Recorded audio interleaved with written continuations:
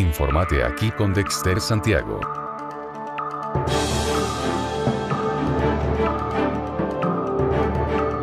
Santiago.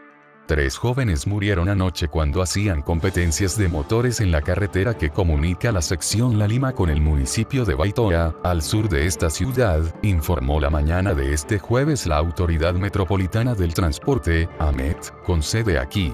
Las víctimas fueron identificadas como Cristian Daurín Núñez, Leandro Peña y Juan Gabriel Patricio Bruno, de 18, 17 y 19 años de edad, respectivamente.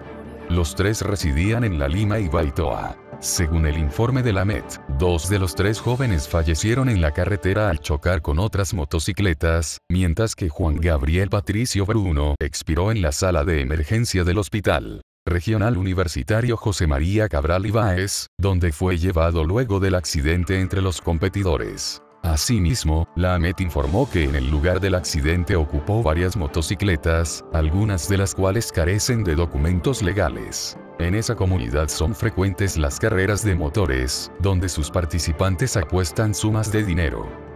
Espero y le haya gustado el video, dale me gusta, compártelo y suscríbete al canal, que eso me ayuda a que el canal siga creciendo y así estaremos en contactos cuando suba un video más.